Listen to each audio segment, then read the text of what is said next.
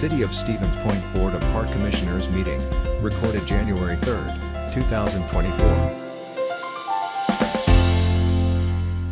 It is 6:30. Good after, good evening to everybody. I want to call the January 3rd uh, Board of Parks Commissioner meeting to order. Uh, Director Kramer, would you mind calling the roll, please? Roderick? Here. Freckman? Here. Disher? Here. Gladowski? Here. Keemer? Here. McDonald? Here. O'Conic? Here.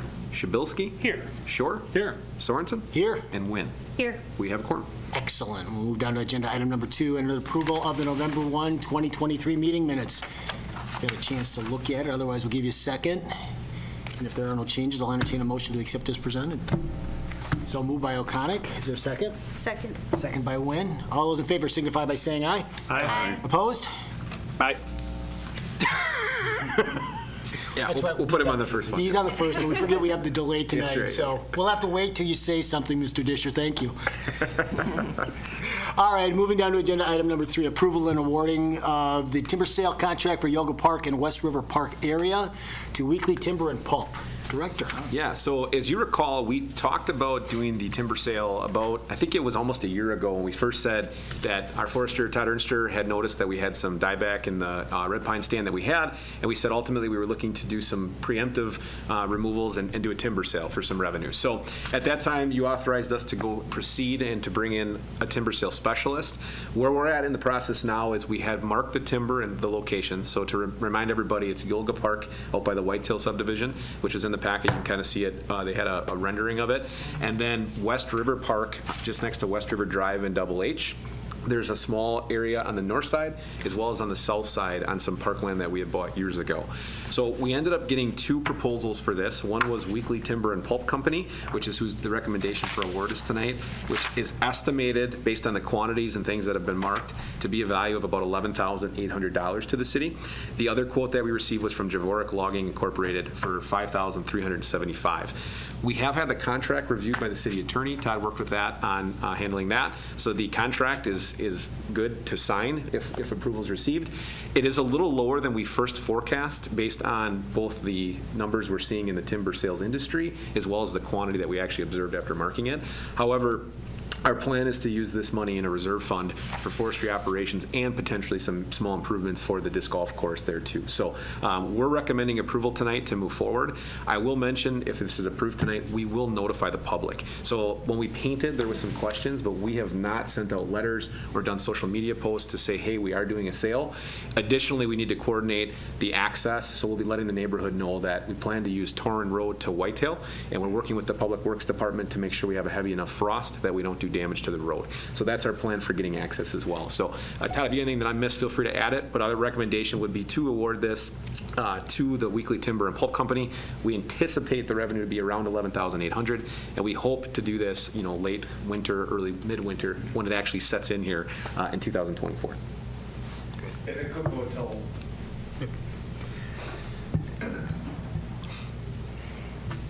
they have it, they have until March of 2025 to do it up to that. So it would be during, it would only be done during the winter, during the closed season. And then the green circle run to there also, we would have notification for that too. Those are the two things I was going to add. So any questions? Mike? One que- How many, how many trees does this include then? What's in the packet? That's- How how many do you get, uh, like, it it says 305 cords of red, red uh, pine pulp and bolts. So how many trees is that? There's a lot of red sprayed out there. Um, I, I don't know the number. Yeah, like I said, uh, I don't want to guess. it, it's a lot, and we've we've contacted the disc golf group because they're very active. They put a lot of their own time and money into it. So we we walk the site with both loggers with that group, so there's no miscommunication with them. But um, um, the the logger came uh, was also recommended by a county forester that I know, and um, Steve Gress, who did the first logging 20 years ago, um, you know, thought it should be done, you know, a number of years before we have, and it's been on my plate, and since Director Kramer came here, he kind of gave me a little push. Liz? Go ahead. Um, How does the amount that we're going to be receiving compare to other timber sales that we've had in the, in the past? And then I'm just wondering if you can comment on, it's really a huge discrepancy between the two estimates. Well, that's why we got a second one, uh, because um, uh, we anticipated more, but the, the the market's way down, from what I understand. That's not my expertise, but so we wanted to get at least one more, and then a a forester that I know that's for the county, I graduated with him, so I called him and bounced an idea, and he said, well, you might want to try this, you should check this out. And uh, th- this company was doing some logging out at the Dewey Rifle Range, he was familiar with them, so that's where we went. And then the only other time we've did did a logging was out in that same subdivision. And that, like I said, that's just before the Whitetail subdivision was uh, built. So I, that's, I don't know how, that's a long time ago, so I, I can't remember how that was. Okay, thank you. The only other thing I can add is this is a little unique too in the fact that they're working around a disc golf course in a highly public area. So we did receive feedback even from the, the, the two bids that we got to is they were getting their kind of mind wrapped around the impact and how much they have to work with the trail and users. So Yeah. not quite as easy as, you know, when they go into just a standard woodlot tour and nobody's around. So we think that might have also eliminated a few bidders that might have said, we just don't want to mess with being in a highly residential area. too." And I think that affected the price because it's going to take longer to do that, to do that in a, in a proper manner. Other questions? Okay. I guess, Todd, talk a little bit about the penalties. So if the, if they're not done by, con- by contract in 2025, is the contract null? Do they owe us additional funds on top of that if they don't complete it? What is in the back there? There is something for correct that. There's- Remedies, Yeah, um, page eight. If they did some damage and stuff, um, that's, that's worked into there. The primary goal is not for the, for the, for the cash flow, is more for the health of the, the stand. Um, I'm just going off what the, both forester, you know, traditional foresters told me, so I don't anticipate this, that being a problem. But I don't know if it's in there. Here. I don't know if I'm supposed to say go ahead or you. No. Okay. I know we have a couple clauses. Number one, we have a, um, and it, we have it bit- built in that there's a mediator step, and if we can't get it solved with a mediator, we can go into, the local circuit court if we have that option to resolve a discrepancy. And then we have a, um, I just have to dig for it. There's a clause written here regarding the And that's one of the timeline, too. clauses, um, Logan had, our attorney said that we should 'Cause we have change a little bit. There's a performance bond in the amount of the $1,770 in cash, so there's a bond involved too, um, for performance, so there's that remedy. Right. Um, And then we have, I can get you the exact language, but both of them are covered with the Okay, performance good. bond and the clause, so. Are there any weather contingencies in that, I would assume, or? Well, it's a pretty wide window, so essentially, like, once they're actually logging, if it gets soft, there will be some rutting and things, right? Like, that's some stuff we'll have to work through, that's just the nature of it. But again, we won't let them on the roads or anything until it's frozen, so that we don't have any issue with the roadway. So, great. So, Bob, you had a question? Yeah, I was wondering, uh, was there any really significant public reaction? Um, I would think if there would have been, no, not that we've received so far. I mean, it's been marked with the red paint. I mean, it's pretty obvious what's going to Yeah. go on for quite a while. I think maybe I received two phone calls. It just, it was more into, in regards to, you know, when, when is this going to happen or what's going on? It was nothing. Actually, the couple residents, one of the, there's only a couple property owners there. We walked the property with one of them, because that goes right around them, and we didn't mark certain trees that we probably would normally would have. And then the other property owner actually asked if we could take down a couple more trees by his property, just because they were leaning towards it. So it was just the opposite of what I was expecting. Is there a significant amount of oak wilt? It looked like there was, There, there's some in the disc golf area, in, in that area proper. Um, and we've, uh, we did a lot of trenching in there this, this fall with, uh, some of our equipment, with our staff, um, where we worked with the disc golf people. We trenched that to try to cut the root grafts between the diseased trees and the healthy trees. And then the disc golf people, um, one of them works for a tree company also. And, uh, he, with their own funds, they, uh, they're injecting some of the oak trees that they're trying to save too. That neighborhood, though, has been experiencing an uptick. We've been marking more trees. I actually live in that neighborhood, too, and, you know, have had feedback from neighbors. So it is, it is probably our primary area that we're experiencing some of the oak wilt in the city. Alderman Kamer? Thank you. Um, So based on the maps, it looks like it or it seems like it primarily affects the disc golf course and the periphery of the neighborhood. How will it impact, or will it impact the Green Circle Trail at all? or- Yep, that's right. It- it- They'll, uh, there's language in the contract. uh, We'll, they'll have signage blocking it off during that time. We'll put some social media posts that that's going on. And if anything's um, damaged within, uh, you know, unnecessarily, they'll, they have to fix it. That's all in there. I mean, there, there will be some tracks there, but there'll be signage on the path and through social media. It- One other benefit we do have is Yulga Park, the neighborhood park, is on Partridge Way, and there's actually a a- a gravel trail that connects back into the Green Circle. So we'll work with the Green Circle Board, once this is approved, about a detour if we need it. So if they're working right adjacent to the trail, we actually could, in theory, bring them into the White Hill, White Hill subdivision. There's a corner, I'll call it a cow path trail, right on the corner of Chickadee, and Chickadee is right up next to where the Green Circle jumps mm-hmm. Torrin. So in theory, we actually could put a sign there that says detour. They could bring down to Chickadee and Black Bear Trail to Partridge, Partridge straight out, and you would bypass what is referred to as White Hill Park, which runs along Wojcik, or what, I'm gonna say this wrong, Woj- Wojcik, is that right? Wojcik. Woyak, is it Woyak? Okay, I I could be saying it wrong, I say it wrong every time. So Wo- Woyak, the northern road, the Town Hall Road, Yeah. and then you could actually come in on Partridge Way and cross over, and then head south, and you'd be on the project limits essentially. So we think between the detour, that's how we can work that out. And the Green Circle, we work with them closely, I'm a member of their board, so we'll, we'll post all that within our publications when they get started. Great. And then if it's approved, we'll, uh, I'll get a hold of the contractor, we'll get all the contracts, and then he can hopefully give me a timetable as to when they're going to do that. So I guess I have one last question, Dan. I- Will this actually help potential enhancements in the diff- disc golf course down the road? It, it can. So I will tell you that the Disc Golf Association has been for years talking about a restroom and, and also an expansion to the parking lot. One of the big conflicts out there is when they have their leagues, their numbers have grown so much that the town of Hull has a meeting, they actually have some conflict. And they, luckily, the disc golf group works well with them, but they have to remind the Disc Golf Association all the time, keep, please have your participants park on the road so that the meeting uh, folks can actually park at Village Hall.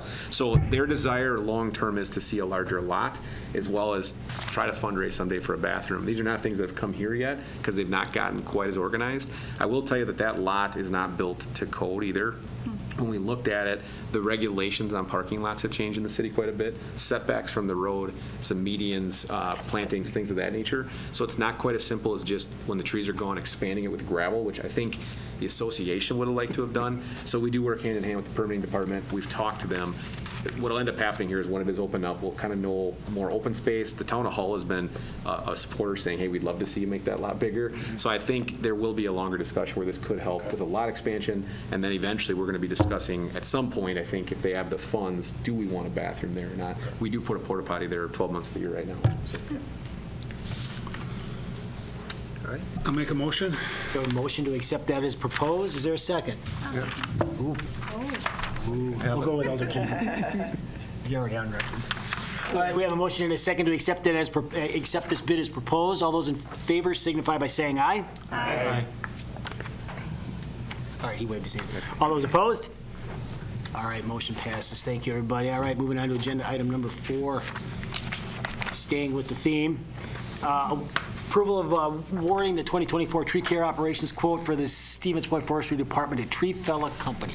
So I won't steal um, Superintendent Ernster's thunder all the way because he's here, but I I will sell, if you recall, every year we put out our tree care operations, so anything from stump grinding uh, to large removals, small removals, pruning. There's a number of things we do from a contracted basis, and we, we basically put the bid out, and the reason that the amount is not listed in the agenda is because we budget for it, but it's based on actual usage. So it doesn't mean that we necessarily use the whole contract. You know, if we have a big storm event, for example, we use more. If we have a year where we don't have big storms and stuff and our crew does more things, we might use a little less.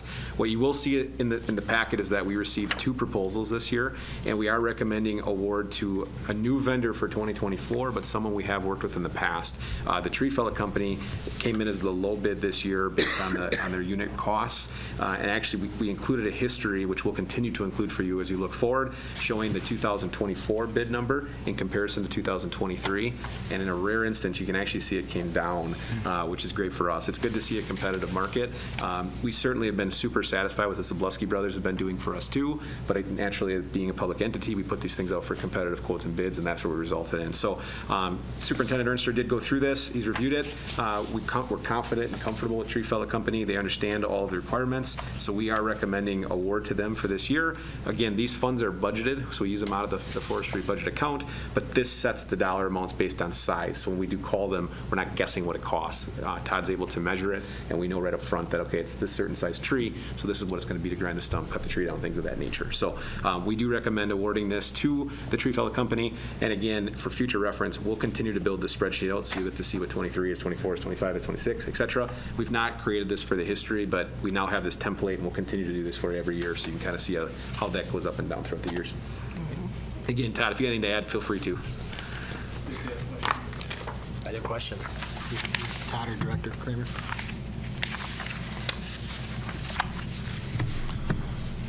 Hearing none, I'll entertain a motion to accept the- this uh, bid as proposed. So moved. Second. All right. We've Got a motion and a second uh, to accept the bid from Tree Fella Company. All those in favor signify by saying aye. Aye. Opposed? All right, thank you, everybody. Moving on to agenda item number four, approval of design for Sarimer Park restroom shelter. Okay, so again, because of our online system, I wasn't able to put the photo rendering in the packet, but I did email them along, so I'm just going to put them up on the screen here again to recap the discussion from last month. But again, the- the the footprint was in the packet, uh, showing the approximately 1,600 square foot shelter. This shelter design has been discussed and reviewed with some of the staff about historic preservation review. It's essentially a CMB block building with columns that then would be wrapped in the stone. The renderings you're seeing here as a reminder, the stone variation of the color as well as some of the size will change a little bit. That's not a perfect system. You know, what they show you here, it's not mined and chipped out and milled exactly the same way, so you're to have a little bit different size, but this is a real close approximation to it. Uh, The way the design is set up is it's shown to be, um, to have basically drinking fountains on the back with a single flush toilet restroom in one of the doorways, the other doorway to be a storage area that'll house some of the things like solar panel um, inverters and things for the solar panels that'll be on the roof. You will notice the solar panels are not placed here right now. It's already been approved, but there is a solar panel system that'll go on here. Based on last month's feedback, I I did not receive anything additional for modifications. In the packet, you did see the, the site plan that Plan Commission and Park Commission approved a few years ago. This is consistent, the way it lays out, so we're looking for approval, and uh, where we're at in the process is if the Park Commission approves of this design as it's set up, the Friends of Emerson have already contracted with Ellis. All of that is finalized. This would go for bidding, you know, over the late winter into spring and should be constructed, and we hope to be ready to unveil September 1st. That's Yes. right? Yeah, September 1st. Um, So with that, staff would recommend approval uh, as drawn and currently designed. All right, are there any questions?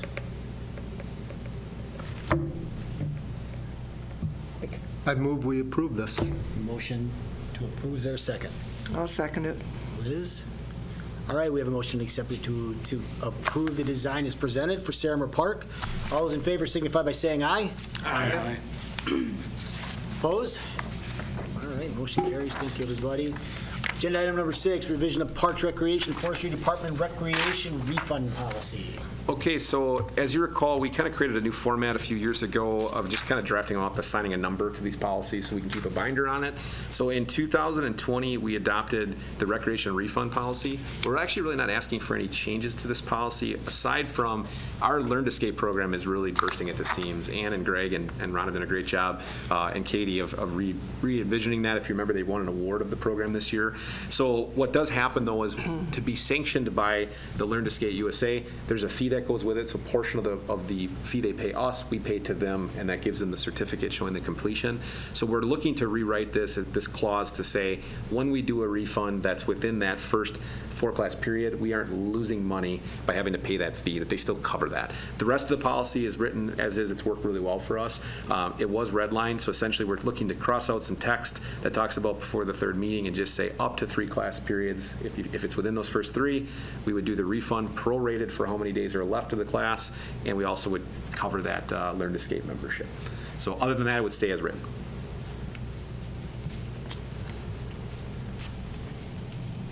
Questions about the changes?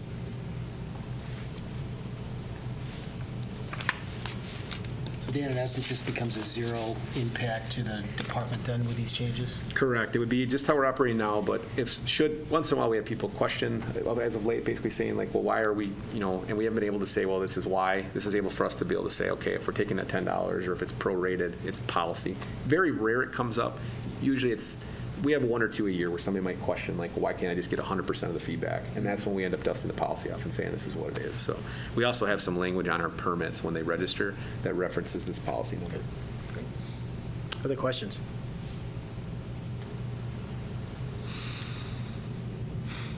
If there are no other questions, I'll uh, entertain a motion to accept the revisions as presented. I'll make a motion. Alder Keemer. Bob, second. All right, all those in favor of accepting the revisions to this policy as presented signify by saying aye. Aye. Opposed? Thank you. Agenda item number seven, Director's Report. Okay, so I, I wanted to give some updates on some pretty key elements. The first one is the Groholski Park design, so I, I don't have this in the packet. Uh, If anyone would like, if you don't remember, actually, I think the Metro Wire just ran a story on this too, but we had a kind of a multi-phased approach to that park. So what we agreed to when we took the land on Double H is that we would do Phase One, which was the opening up of a- about a two-acre green space. There's a walking trail, gravel trail that goes around it parking access off of Double H, because right now there's no actual access to the park, about 10 stalls, and then we had a small shelter is how it was labeled. Where we're at is that we have, I've been working with the Colliard Foundation to install a completely solar roofed shelter. If you've been out at MREA, they have one. Theirs is much larger. But our structure is uh, about 25 feet by 13, or 16 feet wide. So before we were looking at a 16 by 16 square polygon metal structure. We've, after seeing this shelter out at the MREA, we were able to identify a 30% tax eligible refund with the federal stimulus uh, package related to solar. So this will be a slightly bigger, but still a, a small single bay, four-legged solar structure. In addition, it'll generate enough solar energy to power a car charging station at the site too. And the way it, it sets up with the 30% refund and the numbers with the consultant we've been working with, with Rutler, we believe we'll be able to install all that for a little bit less than what it would cost to just to install the, the metal structure. So it's still consistent with everything that you've already approved from a design standpoint, other than the fact we're going to have a solar element of it too. So where we're at in the process is we hope to be out for bid in January. I hope to bring back bid recommendation to you in February. At the latest, if we don't make that deadline because of the posting, it'll be in March. But that is set to be constructed then this year, hoping to be able to unveil that park as well in the fall some, uh, uh, sometime. Right now, it's a 10-stall parking lot that's asphalt with the char- car charging station on the far side of it. We're just going through final reviews with the utilities department about some of the stormwater and the retention pond, as well as the permitting department to make sure it meets all the building code requirements. One other small modification is we had a horseshoe driveway shown that's not permittable on the county highway, essentially. They told us it only could be one access point, so now it's just the one driveway in in the same lot. So again, I'll bring you up more rendering, you'll get to see it all as we get closer. Um, But another pretty unique thing, we're going from no solar in the park system to two sites that'll have it here, hopefully by the end of the year, which is, which is really great to see. Um, The next thing I wanted to mention was about the forestry PD garage. So if you all remember the capital budget, there was $37,000 put in to look at basically developing 20% design, 30% design, you can call it, with some cost estimates to build the PD garage that's shared with the forestry department because of, uh, number one, they're both housed here, but number two, the forestry garage, if you've ever been in it, if you haven't, I'd love to walk you in it. It's a single point of entry, and we stack all the vehicles, and it's severely outdated, and it's going to be due for a number of upgrades in the future. There's also been a number of things talked about of would we ever consolidate the city campus into one location? If, if you remember, there was a discussion when the Boys and Girls Club took over the, the building here just a little bit past us, what the long-term future of that was. What I wanted to tell everybody tonight is that we have made progress of laying out a footprint of a facility that would work for both departments, that would be right where a lot of the PD vehicles are currently parked out behind the building. And at Finance on Monday, we're going to be asking for authorization to apply for a grant. Uh, We found a, it's called a BRIC grant through FEMA, that the building could be potentially designed as a storm shelter and a garage. So basically, the, the school, the hospital, university, the residents in this neighborhood, uh, over about 2,150 people could come to that garage during tornado events or severe weather, and it would be a storm shelter, which locks, unlocks about 75% funding, and it can double as a garage for our equipment too. So that's the path we're headed down. Um, The good news about it is, if the council would approve, yes, go ahead and apply for it, we'll do it. We don't have to do it. If we get awarded the money, the council will still get to decide, certainly this board would get to decide, but it's still in line with what we were envisioning, and we're just laying out an alternative to hopefully unlock some funding. It's not a cheap facility, as you can imagine, these things get in the millions of dollars, so uh, I think that the full numbers will come out Monday, but we believe to build it to the FEMA standards, it would be about a $9 million package, um, but over six of it would be eligible for the grant, versus if you take out the FEMA component, it would bring it down a million and a half, but then you're around $7 million completely out of pocket. Again, these are big decisions for council ultimately and the finance committee. This board will certainly play a role, but because of the grant right now, it, it goes directly to finance because of the PD and multi-department collaboration. So again, I will be in front of this board as we move further. I can certainly email a rendering out once we've got it. You'll see it come out in the packet on finance if you look at it. But where we're at today is just trying to identify funding mechanisms. If we get the funding mechanism, there'll be a lot of discussions about, okay, are we moving forward? There's multi-years that can be built. We have about a three-year window after the fact. I'll also mention if that goes forward, there will be a bigger discussion for this board about what happens with the space we would be vacating. So there's a multi-layered approach here, uh, and it all centers around some planning that we'll have to do about Goerke Park as a whole and some of our partners and, you know, things within the park. So um, there's a lot to that. After this meeting this week, if you want to know even more specifics, feel free to give me a call. I can jump on a call with you or show you some more items. Um, th- There's a lot of moving pieces, but the short version is Monday, the first one will be related to the garage. And if the garage gets built, the next domino would be to move office over here too for the Park Rec and Forestry. So, um, and again, there's impact to the Boys and Girls Club, so we're having conversations with them um, and meetings to make sure that nobody's surprised with what we're trying to do. The next thing I wanted to mention is, as you've seen, the winter has been incredibly warm, so we do not have any operations other than the KB Willett open this time of the year, which is, it's the first time in my five years that we've had that happen. Uh, We do have things like polkas on ice scheduled downtown, so if we get cold weather, which we should, we will still try to put the rinks in. The first rink, if we don't get snow that would go, would be the downtown one, because it's es- essentially a giant bathtub. We put down a liner and fill it up with water, so even with no snow, we can do that one. So based on what the forecast is looking like, potentially in 10 days or so, we might be able to start considering that one. But we need to get some more consistent frozen temps. Once we get snow, we'll start doing some of the things outside. Um, It's going to be an incredibly short season, no matter how it goes, because February, usually the sun, the sun's rays are too, uh, they're just too warm, and it starts to melt the rinks on us. So, you know, we could, you you hate to say it out loud, but we could use snow and cold uh, soon if we're going to get any sort of, of winter sports in. So um, I will tell you, the crews are working on a lot of other, other projects right now. We've had a lot of overlap and cross-working with, in the KB Willett, because it's a lot busier with the construction project and all the contractor work that we have over there. So we've actually been having quite a bit of crew help over there. So kudos to our whole team. A lot of overlap, even though it might not be just park related, right? It's been a lot of departmental collaboration for a lot of, uh, a lot of different things that we're doing. There's also been a lot of tree work happening in the city, as you can imagine, um, both with the streets department and our park and forestry crew. We actually have our crew members cutting down the trees at Graholski Park, making way so we don't have to pay a contractor to do that with the grading work that's coming up. So if you do drive by that road, you're going to see that that space is starting to open quite a bit. Are you are you utilizing the part-time people for the, you hired for Iverson, and- or are they just? nothing? We've been able to use one for rentals on the weekend, but they're kind of, they're basically waiting. We haven't had any hours for them right now. That is the biggest bummer about that position, is you hire them unknown. So we, you know, a lot of them will not be available here pretty soon too, so that's a whole nother layer. And what is the worst part is if we don't open for appropriate season, recruiting them back next year is really hard, because they go find another job. So that, that will be another long lingering issue about not being open. Um, Last thing I wanted to mention was the, I got two things, I'm sorry. The KB Willett and Goerke Park project update. The team room itself is scheduled to be done around the 16th of January, so we're really close. They're actually drywalling and painting inside. What'll be remaining is the exterior grading work, some of the- the uh, irrigation and things that are around the building. And then there was a facade, a new metal facade going on the east side and the south side that the existing walls structurally and the way the metal is on the building won't support.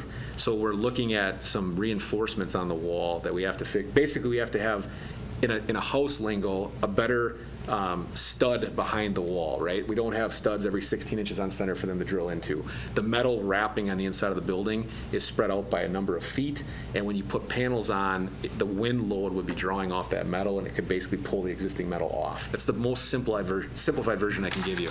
So what they're looking at doing is adding some strapping behind it, which would work as a stud every so many inches on it, that they can drill into with what they call a hat channel, which is, it- it's a fancy word for a, a plate that they can put multiple screws through, getting into the weeds. But lots of different things on the wall.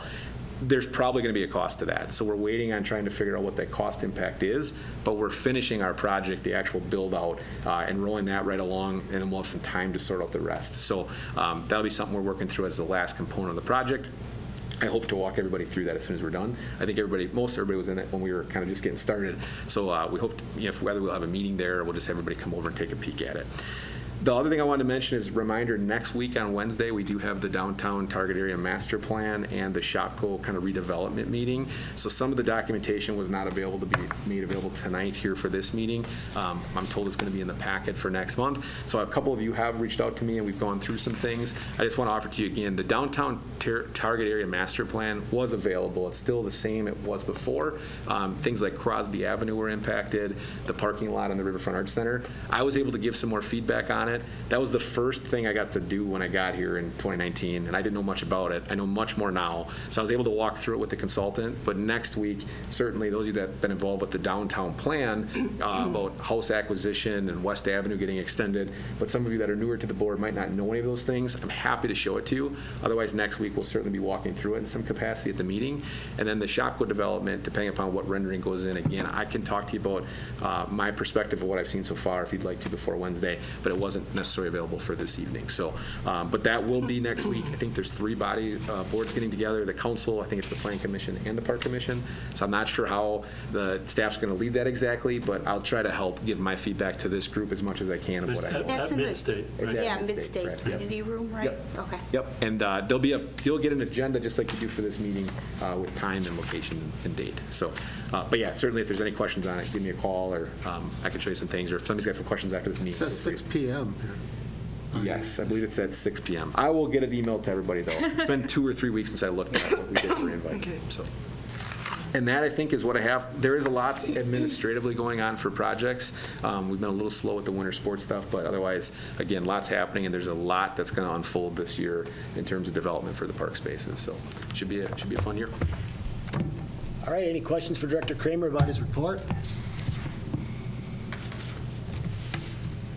All right, if not, I'll, I'll entertain a motion to adjourn. John? Motion.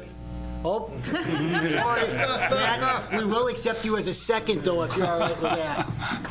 All right, we got a motion to second. All those in favor signify by saying aye. Aye. All right, thank you very much, everybody. We'll see you, hope hope to see you all next week. A video of this meeting is available for viewing on the city's website, stevenspoint.com/videos.